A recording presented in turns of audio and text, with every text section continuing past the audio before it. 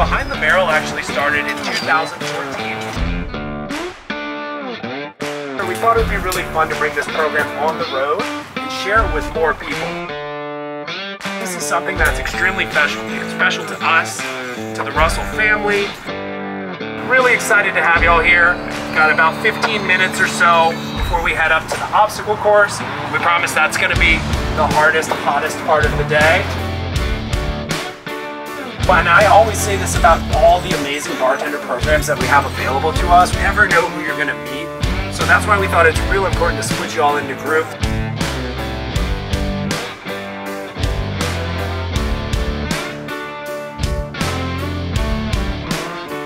One more. Green, green is catching up. We're done? Go, go, go, go. One more, one more, one more. How many have used a turkey diaphragm before? Now, I want you guys all to close your eyes and grab a set of double D's.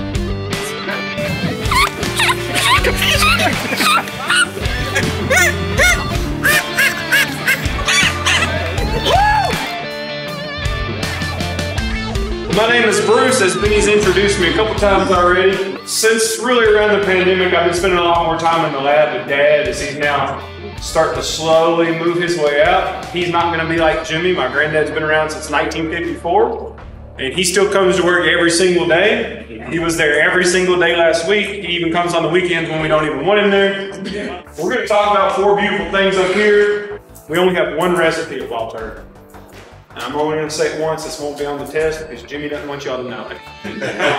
but you can Google it if you ever forget. it. The bourbon recipe is 75% corn, 13% hot, 12% barley malt. But what you have in front of you, and what we use as well, is these specific ages. So you're gonna have one barrel sample that's six years old, one that's eight years old, and one that's 12 years old, right?